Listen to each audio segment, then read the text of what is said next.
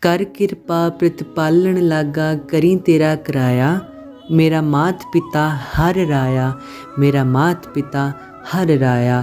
ਸਿਮਰਵ ਸ਼੍ਰੀ ਹਰ ਰਾਏ। ਆਪ ਸਭ ਨੇ ਗੁਰੂ ਨਾਨਕ ਦੇਵ ਜੀ ਦੇ ਦਸ਼ਮੇਸ਼ ਪਿਤਾ ਦੇ ਗੁਰੂ ਹਰਗੋਬਿੰਦ ਸਾਹਿਬ ਜੀ ਦੇ ਅਸਥਾਨਾਂ ਦੇ ਦਰਸ਼ਨ ਤਾਂ ਜ਼ਰੂਰ ਕੀਤੇ ਹੋਣਗੇ, ਪਰ ਅੱਜ ਅਸੀਂ ਤੁਹਾਨੂੰ ਇੱਕ ਐਸੇ ਸਥਾਨ ਦੇ ਦਰਸ਼ਨ ਕਰਾਵਾਂਗੇ, ਜਿਸ ਅਸਥਾਨ ਦਾ ਤਾਲੁਕ ਗੁਰੂ ਹਰਿ ਸਾਹਿਬ ਦੇ ਇਤਿਹਾਸ ਨਾਲ ਜੁੜਿਆ ਹੋਇਆ ਹੈ।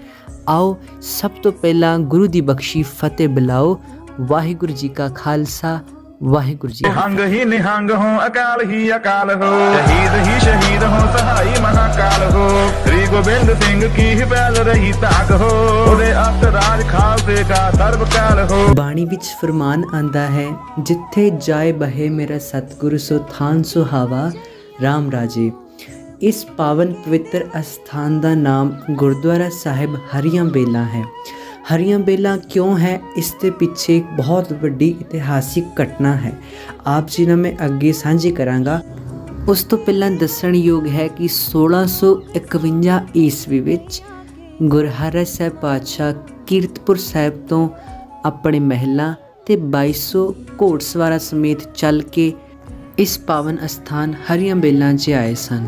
ਮਹਾਰਾਜ ਦੀ ਆਉਣ ਦੀ ਖਬਰ ਸੁਣ ਕੇ ਸਾਰੀਆਂ ਸੰਗਤਾਂ ਇਸ ਸਥਾਨ ਤੇ ਇਕੱਤਰ ਹੋ ਗਈਆਂ ਤੇ ਨੂਰੀ ਜੋਤ ਬਖਸ਼ਿਸ਼ਾਂ ਦੇ ਭੰਡਾਰ, ਅਗੰਭੀ ਸ਼ਬਦਾ ਨਾਦ ਦੀ ਧੁਨੀ ਨੇ ਅੰਧੇਰੇ ਜਗਤ ਨੂੰ ਇੱਕਦਮ ਜਗਮਗਾ ਦਿੱਤਾ। ਇਸੇ ਸਥਾਨ ਤੇ ਹੀ ਬਾਬਾ ਪ੍ਰਜਾਪਤ ਰਹਿੰਦੇ ਸਨ, ਜਿਸ ਸਥਾਨ ਤੇ ਗੁਰਦਰ ਸਾਹਿਬ ਬਣਿਆ ਹੋਇਆ ਹੈ।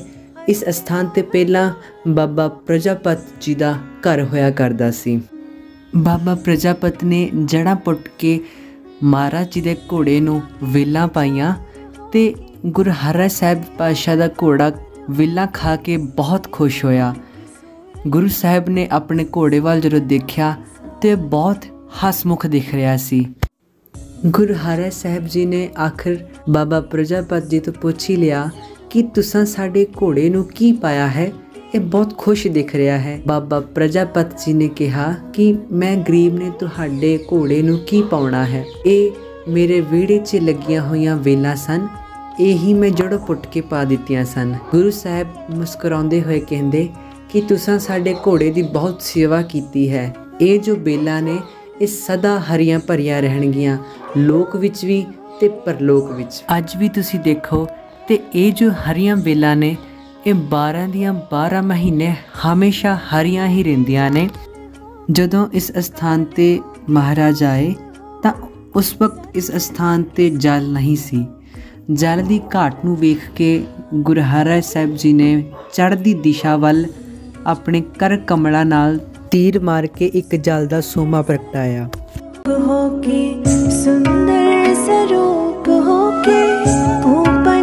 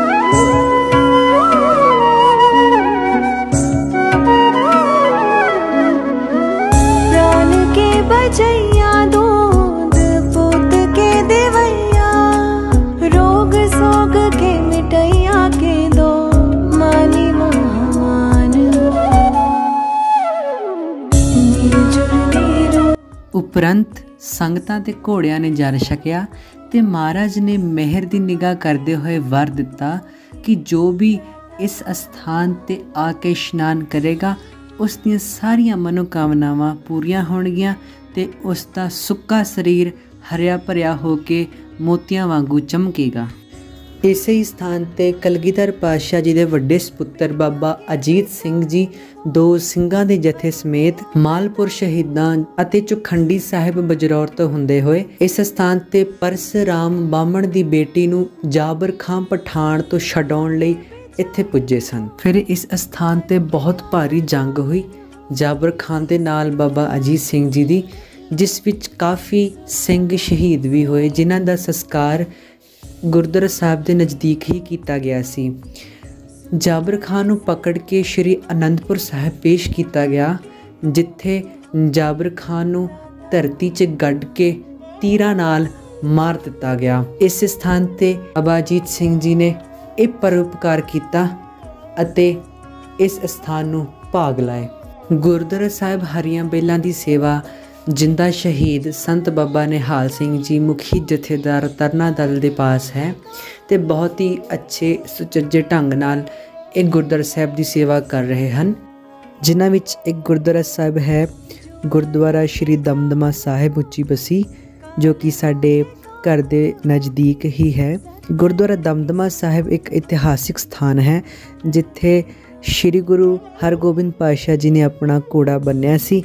ਤੇ ਉੱਥੇ ਉਹਨਾਂ ਨੇ ਅਨੇਕਾਂ ਸੰਗਤਾਂ ਨੂੰ ਗੁਰਬਾਣੀ ਦੇ ਨਾਲ, ਪ੍ਰਭੂ ਭਗਤੀ ਦੇ ਨਾਲ ਜੋੜਿਆ ਸੀ।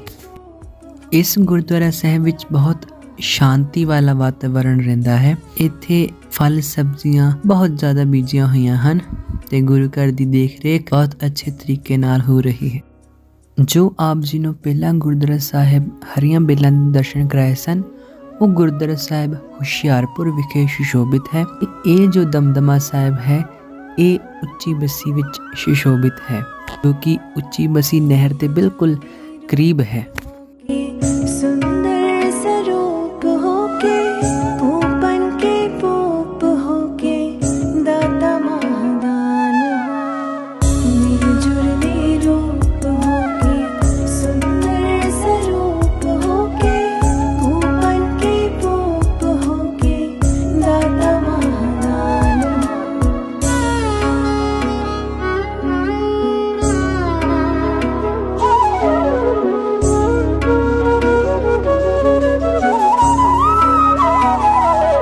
ਉਸ ਤੋਂ ਬਾਅਦ ਅਸੀਂ ਰਾਤ ਨੂੰ ਗਏ ਸੀਗੇ ਮਹਾਨ ਕੀਰਤਨ ਦਰਬਾਰ ਤੇ, ਪਿੰਡ ਉਸਮਾਨ ਸ਼ਹੀਦ। ਤੇ ਜਦੋਂ ਮੈਂ ਪੰਡਾਲ ਵਿੱਚ ਗਿਆ ਤੇ ਉੱਥੇ ਭਾਈ ਰਵਿੰਦਰ ਸਿੰਘ ਜੀ ਹਜ਼ੂਰੀ ਰਾਗੀ ਦਰਬਾਰ ਸਾਹਿਬ ਕੀਰਤਨ ਕਰ ਰਹੇ ਸਨ ਤੇ ਮਨ 'ਚ ਫੁਰਨਾ ਉੱਠਿਆ ਕਿ ਅੱਜ ਇਹਨਾਂ ਨੂੰ ਮਿਲ ਕੇ ਜਾਵਾਂਗੇ। ਸੋ ਆਓ, ਉਹ ਕਲਿੱਪ ਤੁਸੀਂ ਵੀ ਦੇਖੋ ਜਦੋਂ ਮੈਂ ਭਾਈ ਰਵਿੰਦਰ ਸਿੰਘ ਜੀ ਨੂੰ ਮਿਲਿਆ। ਲੈ ਕੇ ਬੱਚੇ ਅੱਜ ਮੇਰੇ ਕੋਲ ਆਏ, ਕਹਿੰਦੇ ਕੋਈ ਥੋੜਾ ਜਿਹਾ ਸਾਨੂੰ ਬੱਚਿਆਂ ਨੂੰ ਸੰਦੇਸ਼ ਦਿਓ। ਵੈਸੇ ਤੇ ਇਹ ਬੱਚੇ ਸਾਡੇ ਨਾਲ ਜ਼ਿਆਦਾ ਐਡਵਾਂਸ ਹਨ, ਜ਼ਿਆਦਾ ਮਿਹਨਤੀ ਹਨ। ਤੇ ਮੈਂ ਤਾਂ ਇਹਨਾਂ ਸਾਰਿਆਂ ਨੂੰ, ਬੱਚਿਆਂ ਨੂੰ ਬੇਨਤੀ ਕਰਾਂਗਾ ਕਿ ਸਤਿਗੁਰੂ ਨੇ ਕਿਰਪਾ ਕਰਕੇ ਤੁਹਾਨੂੰ ਬੜਾ ਕੀਮਤੀ ਇਹ ਮਨੁੱਖਾ ਜੀਵਨ ਤੇ ਨਾਲ ਗੁਰਸਿੱਖੀ ਜੀਵਨ ਦੀ ਬਖਸ਼ਿਸ਼ ਕੀਤੀ ਹੈ।